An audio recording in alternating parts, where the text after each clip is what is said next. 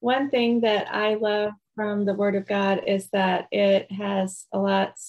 It has a lot of things um, that we learn from, and there's a lot of objects that that we can learn from. And I've actually started working on a whole list of objects that we can learn from from the Word that are still in our lives today.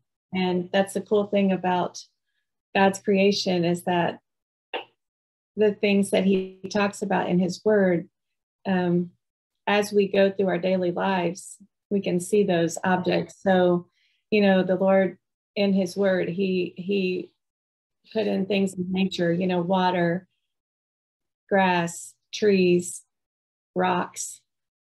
Um, today, I'm going to talk about feathers and wings. And so, just a lot of objects in the Bible that I think that as you, as anyway, when I read about them, I like to figure out where they are in the rest of the Bible and how God is teaching us through objects in nature and just objects everywhere. Um, this last weekend, I was privileged to be with my sister, and we went to Colorado.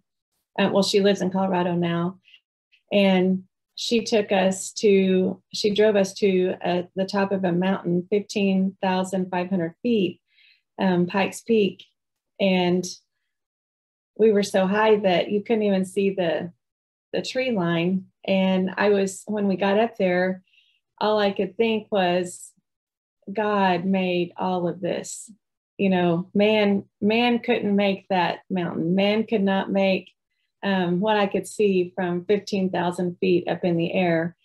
And I, I don't know, I'm just really, um, I'm just really drawn to that part of scripture that the Lord, I, I think that what it means to me is that I go through my daily life sometimes and I get so busy that I forget to remember that God made all of the things that I can see. And if God didn't make the things, then He made the people with the brains to make the things, right? And I think that that part of, of God and that part of His just amazing creation, it makes me realize even how much bigger God is than I remember that He is on a daily basis. And so I was thinking about teaching today and nothing else that I thought of um, really felt right. And I, I want you to approach this study about wings and feathers today in a way that to help you understand that God is always with us and that every time we see things in nature, you know, the leaves, I'm sure the leaves have all pretty much fallen. I've been to Finland in the fall um, but by now, I'm sure the leaves have all fallen and the trees are starting to look wintry. Um, in Oklahoma, we're not quite there yet.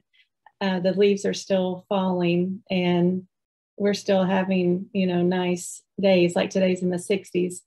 But throughout this lesson, I just want you to realize that God shows us through his creation and through nature of how much he loves us and when I realize how much He loves us and all the things that He's made, I realize that He is ever present with me and that I can, I can truly trust Him um, because He's given me all these reminders as I go throughout the day to help me remember that He He is so big and He created all the things, and I I can trust a God who created a mountain, you know, that's fifteen thousand feet and I can trust a God who made feathers on birds and wings. And I know it's a really simple concept today, but um, I, I just think that sometimes, you know, simple is is better. And so we're going to dive right in. Okay, so this is what we're going to start with. We're going to start with Psalm 91. And I know that last year, especially last year, a lot of people really read Psalm 91 a lot and depended upon Psalm 91. And I remember um, uh, my husband's pastor and his wife, um, they felt like that Psalm 91 was so important. And I remember um, when we had some some global um, unrest things like in the Gulf and in Iraq uh, back years ago um, with some of the terrorism and things. I remember back then people really, you know, running to Psalm 91. And it, it's, to me, it's like a psalm like Psalm 23. And when there's trouble, it's something that we can always run to and we can always find comfort. And I'm just going to really think about the first four verses today. If you have your Bible, um, I would love it if you would actually um, go through these verses with me with your Bible. And if you don't have them marked, I encourage you to mark them, or if you have a phone and you can look at them. Um, if you're, you can multitask Zoom and your Bible app at the same time to highlight them. Um, so I'm just going to read the first four verses, and hopefully you're reading it from your Bible and make sure that you mark these because I'm going to give you a lot of verses today here on the PowerPoint. He who dwells in the secret place of the Most High shall abide under the shadow of the Almighty. I will say of the Lord, He is my refuge and my fortress, my God, in Him I will trust. Surely He shall deliver you from the snare of the fowler and from the perilous pestilence. He shall cover you with His feathers, and under His wings you shall take refuge. His truth shall be your shield and buckler. Now, we're just going to kind of go through this, not kind of, we are going to go through it um, verse by verse. And the thing I want you to remember from verse one is um, there's, I didn't put this on the PowerPoint, but there's an important word in there, abide. And if you think about the word abide, I'm going to go over here to um, I didn't put this on the PowerPoint, but John 15. And Jesus is, this is all in red letters here, John 15. And to me, I call this the abiding chapter. And it, again, the Lord is using pieces from his creation to teach us. So he's using um, vines and he, he's using branches and he's using fruit to teach us concepts um, to help us understand how much he loves us and how much he cares for us. And in John 15, there's a principle that if we abide in him, um, you know, the only place that that we can really, um, I don't know, there's just, I, I don't want to get down in the weeds of abiding um, today, but you know, the Lord says, I am the vine, you are the branches. He who abides in me and I in him bears much fruit for without me, you can do nothing. And sometimes when I, I, over the years, you know, think that, you know, I, I'm pretty smart and I can accomplish things. Then I read that verse and I remember, oh yeah, um, the Lord said, without him, then I'm nothing. And that's not to be contradictory you know it's not to say that lord doesn't love me but he's trying to get me to a place of this secret place and remembering that only in him do i abide and only in him is my hiding place. And you know i don't know if it's true in finland but here in north america there's a phrase you know like the beach is my happy place or um you know my home is my happy place. And I, I think that as people that serve the King of Kings and the Lord of Lords, we need to realize that our happy place or our we, when we say that, you know, we need to realize that only in Him can we hide, and only in Him can we, only through Jesus Christ can we be truly happy. Um, and we can't find that in anything outside of His Word and anything outside of His love. And so our secret place, our hiding place has to be, you know, we have to learn that we dwell in that secret place of the Most High because there is a principle in Psalm 91 that, again, the principles of God. If we do this, then God will do this. And he said that he who dwells in the secret place of the Most High shall abide under the shadow of the Almighty. So I have to be willing to dwell in that secret place and I have to be willing to make God my hiding place and make his word my hiding place. And a lot of times I know myself, you know, I I've run to um and I, will just use silly examples, you know, um, you know, when I'm stressed out, I, I run to chocolate or when I'm stressed out, I run to, you know, coffee or hot tea. And I know those are silly examples, but I, I think that God is trying to tell us through Psalm 91 that the only way that we're going to get verse 2, 3, and 4 is to put verse 1 into perspective and into place in our lives. And so if I'm not dwelling in the secret place of the Most High, um, then there's no way that I can abide in the shadow of the Almighty. And so the secret place has to be our hiding place. And then some verses here um, Psalm 119, 114, the Lord, He's reminding us again that He is our hiding place and He is our shield. And then Psalm 143, 9, I'm going to read that to you. Deliver me, O Lord, from my enemies. In you I take shelter. So, again, we're talking today about the Lord's feathers and his wings and abiding in him and staying in that secret place with him in that hiding place. And to me, that hiding place is starting every day in the word, starting every day in prayer. And if you start, you know, that's the first principle, um, the principle of first that Terry Shock always talks about. Um, but he, I, when we put that principle to work, once I start out the day in my secret place and I hide in the Lord's presence and I allow the Lord to you know i'm i'm underneath the shadow of the almighty and i'm dwelling in that secret place.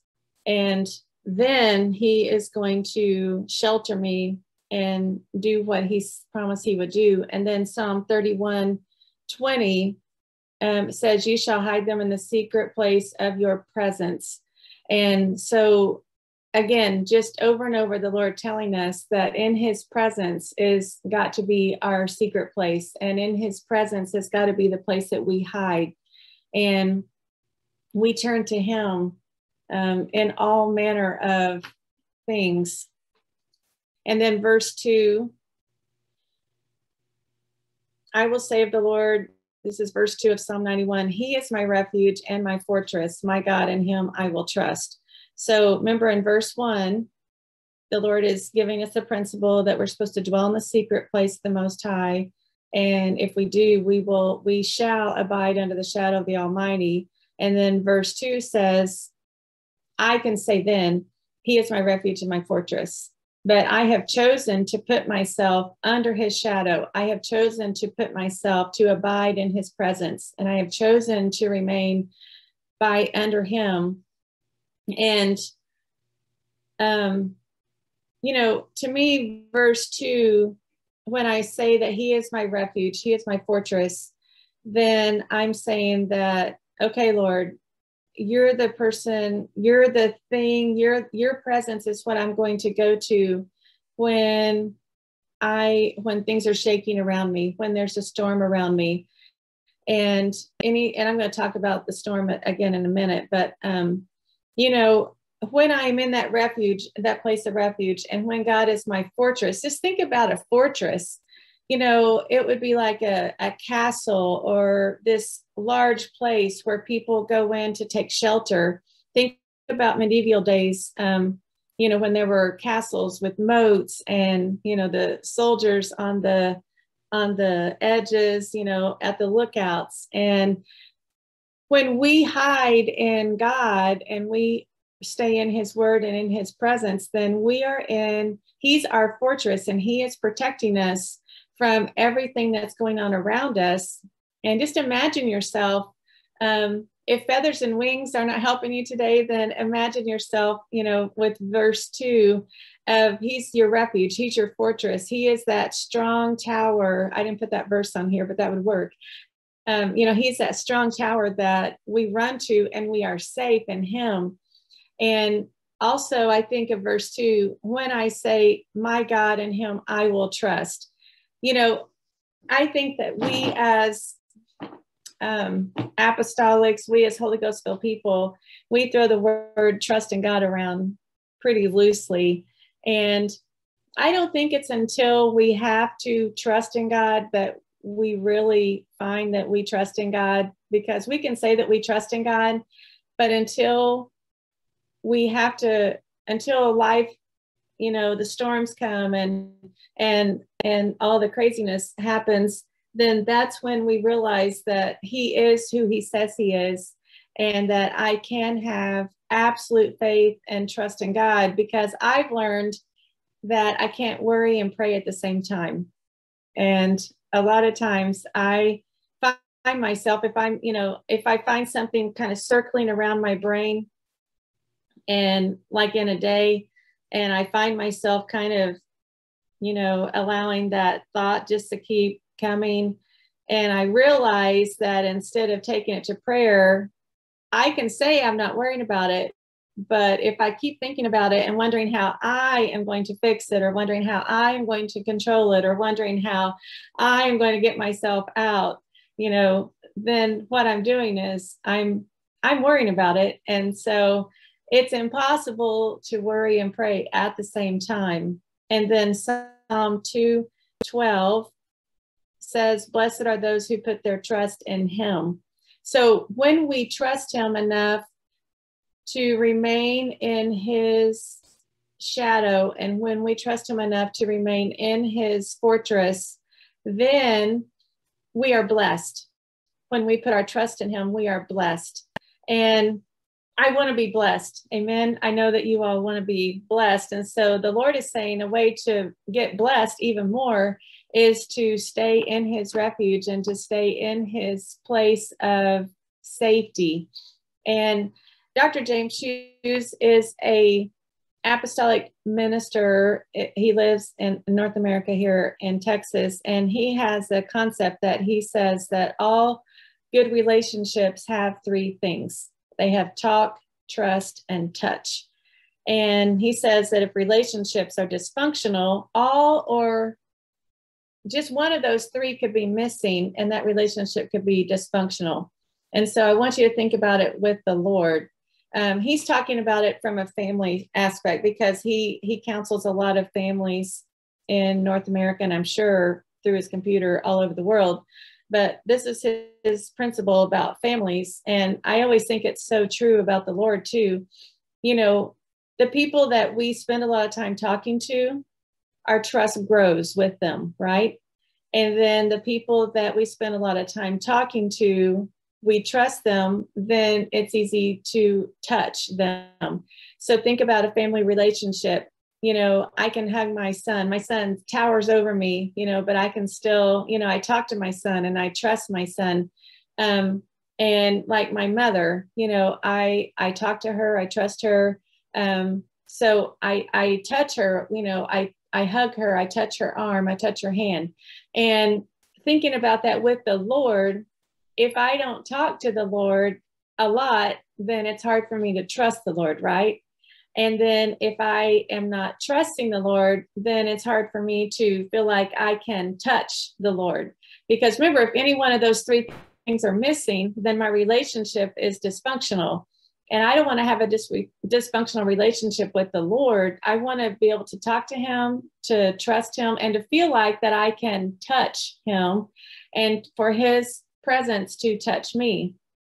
Now, I have some photos on here. They're just stock photos um, somewhere.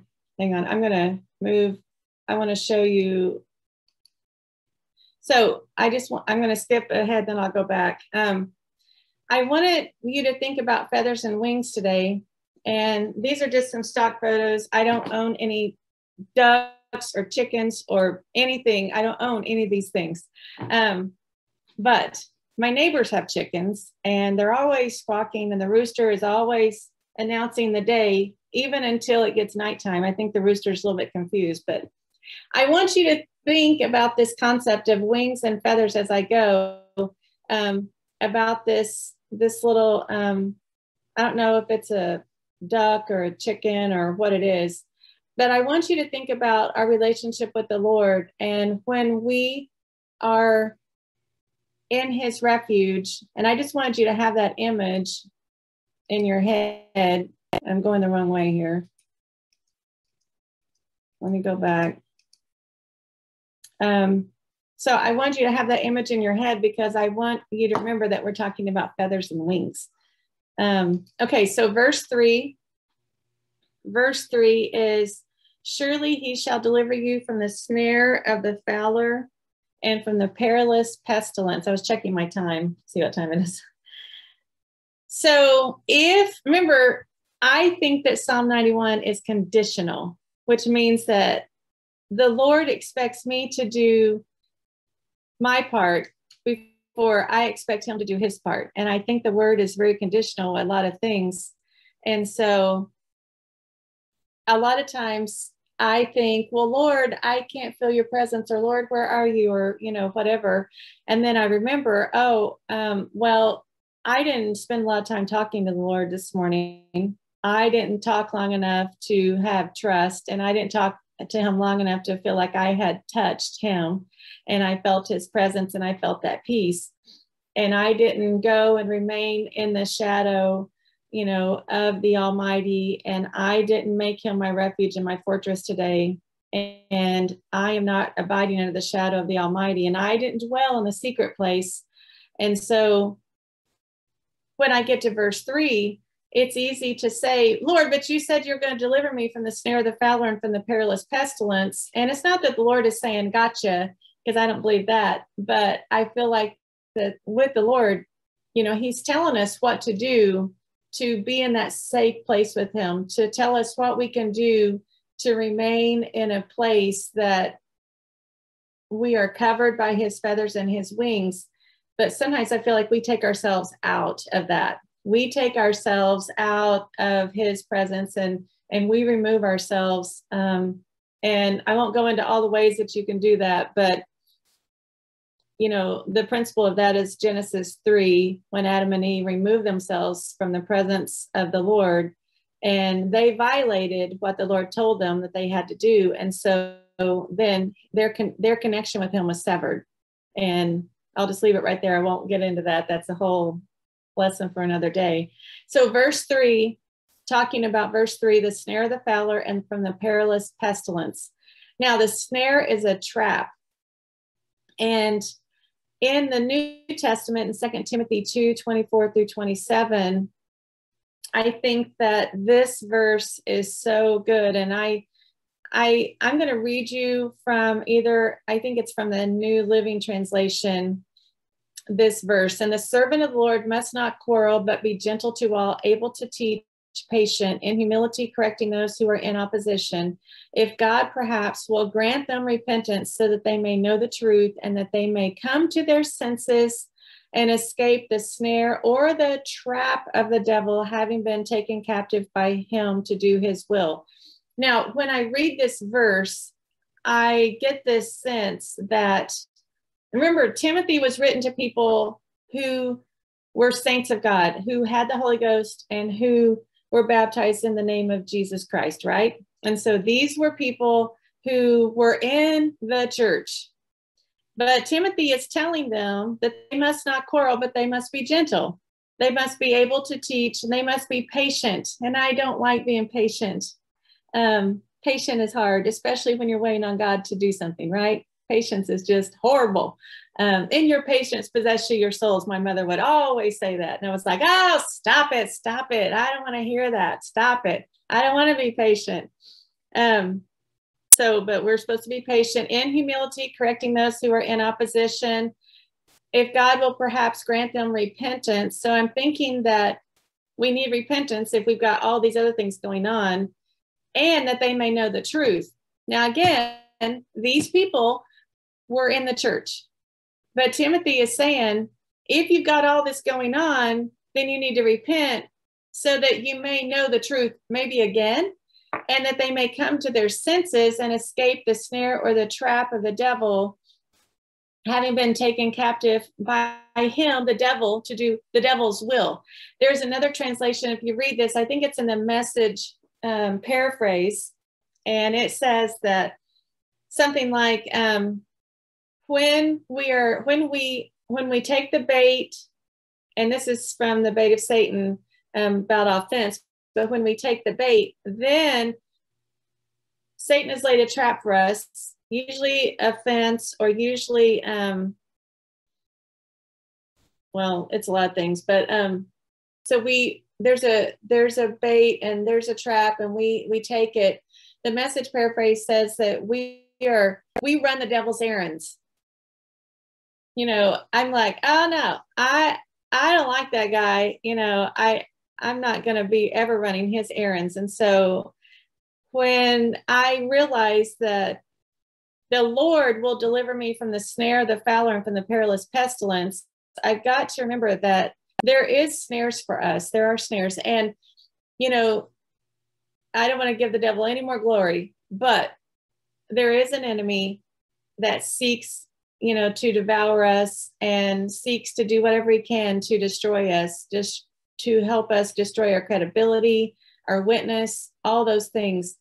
And so you've got to be really careful because there is a fowler, you know, there is a trapper, there is a hunter, and there is a perilous pestilence that is trying to harm us.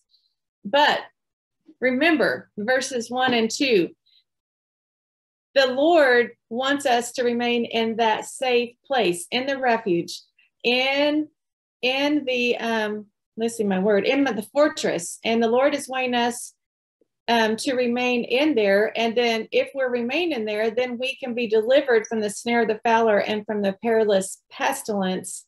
Um, so that's verse three. I hope this is all making sense. This makes sense in my head, but I don't know if it makes sense in your head. So that's why I need to see some of your faces to say, for me to look and say, are they looking at me like, what is going on? Or is this making sense?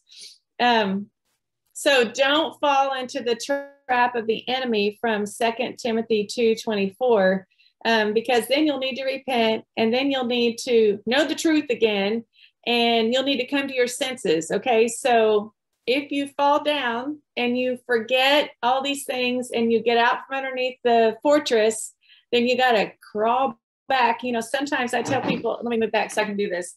Sometimes if you find yourself outside the fortress, you know, the army crawl, the soldiers, you know, you just grab a hold of the rocks and you just start crawling back, you know, as fast as you can get. You know, you might have to army crawl your way back, but you got to get back.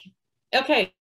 Um, I just wanted to show you this because um, a couple years ago, I had uh, an artist in the church that we pastored. She created this for me. Um, and I, I gave it away as, as gifts, but I just wanted you all to have it um, because I thought she did such an amazing job with this. And so we're approaching verse four, but I just, um, I just thought she did such a great job with this. I just wanted you guys to enjoy it and see it. She's a great artist. Um, so, verse four, he will cover you with his feathers, and under his wings ye shall take refuge. His truth will be your shield and buckler. So, finally, to our feathers and, and wings part. Um, looking at the time, um, God wants to cover us with his feathers. And just think about, you know, birds protecting their young. Um, think about young little chicks, little bitty chicks. They can't protect themselves. The parent has to keep them warm. The parent has to protect them from anything that would harm them. And today I want you to think about yourself as a helpless little chick. Okay? Um, Brother Lee always teaches that when you're in the middle of a battle or when you're in the middle of especially people a people battle like when people are saying things about you or whatever he says you know think about yourself um, think about god's hands and you putting yourself as a little child in god's hands and you pray and you just you know say lord you know here i am i'm just little you know you've got to protect me You've got to help me and sometimes when I don't know what to do. That's how I pray. I'm like, Lord, I'm just going to put myself in your hand. And I actually hold up my hands like this and say, Lord, I am helpless. I I cannot do a thing about this. You know, you've got to help me.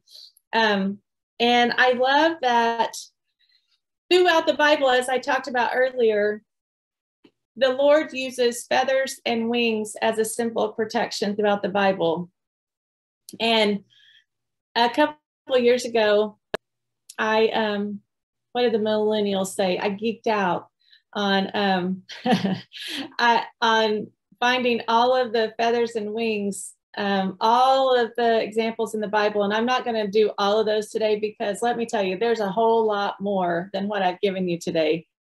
Um, I'm just going to give you a few, but I want you to think about yourself as a helpless little bird. And sometimes we, like the children of God, we are weak in our own strength.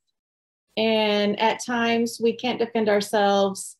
And I've spent a lot of time trying to find out um, all about these feathers and wings. And David used um, a lot of these as examples too in Psalms. If you read Psalms, there's a lot of examples of feathers and wings. And and then there's if you think about wings, there's a lot of references to wings. So there's eagle wings, dove's wings, angel's wings, cherubim wings. I mean, there's lots and lots of um, symbolism about this throughout the Bible. And I'm just going to give you a few today, um, not to overload you. This is supposed to be an uplifting, encouraging Bible study and not one that you go, ah, she's given me so many verses. Um, Psalm 17, 8, the Lord in Psalm 17, 8 says that he will hide me under the shadow of your wings or hide me under the shadow of your wings. And in Psalm 57, 1, in the shadow of your wings, I will make my refuge until these calamities have passed me by. And so when I think about hiding under the wings of God, you know, I think if there's a huge storm going on, then I can crawl into that little place like that photo that I showed you a minute ago, that little chick. Because if I am under the feathers and wings of God, then I am totally protected. And we're going to get to the, the surround part in a moment. Um, Psalm 61 4, I trust in the shelter of his wings. Remember that word trust again. So remember, I talk to him, I trust, and I touch. And then Deuteronomy 32 11, this is a metaphor of an eagle thinking about the children of Israel. And let me turn over there really fast. Um,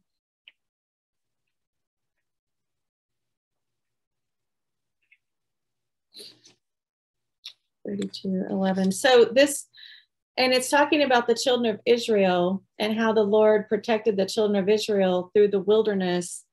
And there's a lot here in Deuteronomy 32. This is Moses um, talking to all the assembly of Israel in a song. But as an eagle stirs up its nest, hovers over its young, spreading out its wings, taking them up, carrying them on its wings. So the Lord alone led them or him. So if you think, I mean, that's crazy to think about the Lord as this giant eagle and putting the children of Israel on his wings and just carrying them around. Um, but that's what I'm saying. I think this topic is just fascinating. And then Ruth 2:12, how we come under the wings for refuge Matthew 23 37, Jesus is talking in Jerusalem and he's in sadness. And he said, Jerusalem, oh Jerusalem, if you would have allowed me, I would have gathered you like a mother bird gathers her chicks. And what was the Lord saying? He was sad that the people of Jerusalem didn't allow him to protect them, that they didn't want, you know, they wanted to do it their own way. They said, We got this. Thank you very much. We're in charge of our lives we like our own options. Thank you. And so, what they did when they said that, they moved themselves out from the fortress, out from the place of the secret place, out from abiding. They moved themselves off of the wings of the eagle and they stood alone. Hello, they stood alone out in the middle of the wilderness by themselves, you know, getting, you know, hit and darts and lightning and hail and rain and everything else. And they're saying, they're saying, what's going on? I thought God's supposed to love us. Well, they didn't keep verse one, you know, of Psalm 91. They didn't put themselves in the secret place of the Almighty and they didn't abide in Him And so then they started getting hit and they were wondering why they were getting hit. I thought God loved me. Well, he does, but you got to remember army crawl it back back to the fortress and you got to get back in there to remember God does love us, but he's got principles in place and we have to follow those principles to be under his wings and under his um, feathers. Everybody good? The little bird again. Don't you love that? We've got to be those little chicks. That little chick right there. Okay, verse four. Um, I continued. I got a few more minutes here. So Malachi 4 2, the Sun of Righteousness shall arise with healing in his wings to those who fear his name. And if you, I think it's fascinating. I won't go into it today, but to compare Malachi 4 with Matthew 14 35 through 36. And Matthew, um, it's the lady with the issue of blood. Let me get over here. Matthew 14. Um, so many touched Jesus, were made well. And this is even after the lady with the issue of blood.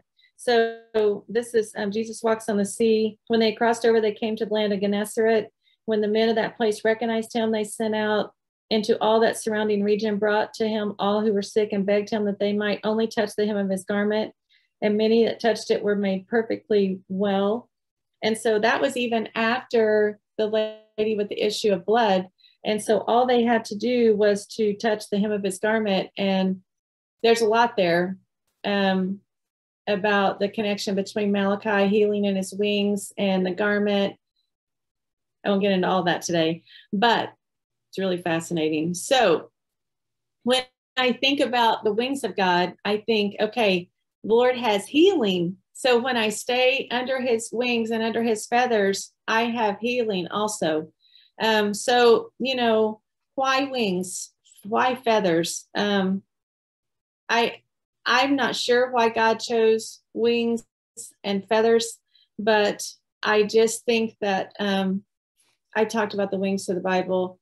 Um, again, another stock photo about in the middle of maybe a rainstorm, and that duck is saying, you know, don't come over here because this chick is is is truly protected, and this chick is is safe right here with me. Um, and then Psalm 35. Every word of God is pure. He is a shield to those who put their trust in him. So think about the rest of that verse four. His truth shall be your shield and buckler. Again, that takes us back to the armor of God. And so you can also think about the armor. You know, we're supposed to have our shield and then our buckler. Um, and so the Lord and his word a shield to those who put their trust in him. But again, we have to put our trust in him. And then he becomes our shield and buckler. John 14, 6, God is truth. And so when we think, you know, every word of God is pure, God is truth, he is a shield. And then think about the word buckler. Buckler comes from a word that means to surround. So I, am trying to make this mental picture for you today. So we go all the way back to verse one, he who dwells in the secret place of most high shall abide in the shadow of the Almighty. And then the fortress, you know, in him I will trust. And so the buckler means to surround. So if God is our buckler, then his wings and his feathers are all around us in the middle of a storm. And so you got to imagine, I'm going to go to this next one. Yeah. So uh, what happened? Um, so, in the middle of a storm, if the Lord is my shield and my buckler, and I am resting under his feathers and his wings, I like to think about it as this when I am trusting him completely, then he and his word are my shield. So, this is in front of me, and his shield is in front of me. The feathers and wings are all around me, behind me.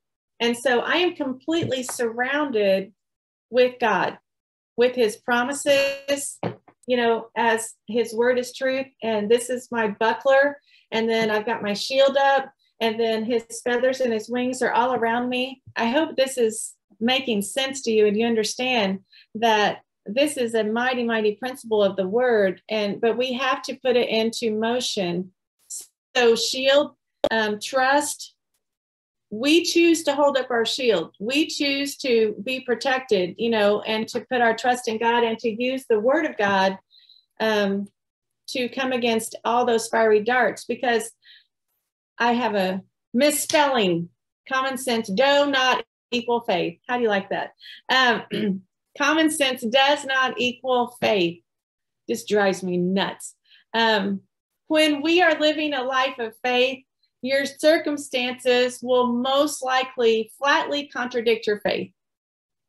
And I it took me a long time because my personality is very, you know, data driven, very analytical, very, you know, I want to check everything out. I want to have all my pieces, you know, all of my ducks in a row before I'm going to believe anything. And so the Lord really likes to mess with me about living a life of faith because I know that um, usually when you're saying you have faith, it looks like everything is just falling apart. And all you can do is back a little closer into those feathers and wings and say, God, I don't know what's going on here, but you do, and you're going to see me through this. So, just a few more verses. First Peter um, 1 6 through 9. In this you greatly rejoice, through though now for a little while, if need be, you have been grieved by various trials that the genuineness of your faith, being much more precious than gold that perishes, though it is tested by fire, may be found to praise, honor, and glory at the revelation of Jesus Christ, whom having not seen you love, though now you do not see him, yet believing, you rejoice with joy inexpressible and full of glory, receiving the end of your faith, the salvation of your souls. And then first, second Corinthians 5 7, you all know we live by faith, not by sight. And remember, usually if we're living a life of faith, everything we're seeing is contradictory to what God is trying to do, right? And so we can't live by faith. I mean, we can't, we live by faith. We can't live by what we're seeing and we can't live by what we're feeling. We have to trust and believe and do this. And then we have to be underneath those feathers and wings and in that place of refuge.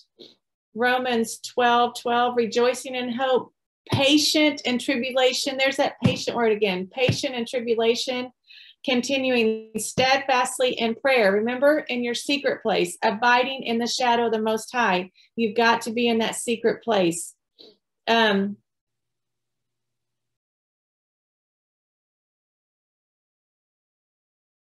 let me get uh, over here to, okay, Isaiah 55, 8 through 9. My thoughts are not your thoughts. My ways are not your ways. As the heavens are higher than the earth, so my ways are higher than your ways, and my thoughts higher than your thoughts. That's a different version than King James. And then um, I think on the next slide I have Isaiah 43. But, you know, when you are underneath the wings and the feathers of God, and He is your buckler, and you're here, you can't keep writing your own story. You have to give God the pencil and permission to write because when you're backed up and you're like one of those little chicks and you're in the shadow of the Most High, sometimes all you can do is give God the pencil and hang on, right? And you have to allow Him to write your story. And because if you take the pencil back, then you're going to um, not allow God to fight your battles for you. And I'm going to hurry to a close here. So Proverbs 3, 5 through 6, you all know this. Trust in the Lord with all your heart. Lean not on your own understanding. In all your ways, acknowledge him, and he shall direct your paths. When you're trusting in him with all of your heart and you're leaning not on your own understanding, you're just being like a little bird. Lord, protect me, carry me on your wings. You know, You've got to hunker down like a bird, allow God to cover you with his feathers. You've got to take up your shield of faith, allow Jesus to fight off the fiery darts. And then the last, um, I'm going to say last verse, Isaiah 43, But now, thus says the Lord, who created you, O Jacob, who formed you, O Israel, fear not, for I have redeemed you. I have called you by your name. You are mine. When you pass through the waters, I will be with you. Through the rivers, they shall not overflow you. When you walk through the fire, you shall not be burned, neither shall the flames scorch you. For I am the Lord your God, the Holy One of Israel, your Savior. I gave Egypt for your ransom, Ethiopia and Seba in your place. Since you were precious in my sight, you have been honored. I have loved you. Therefore, I will give men for you and people for your life. So I've got to remember that God is going to be with me.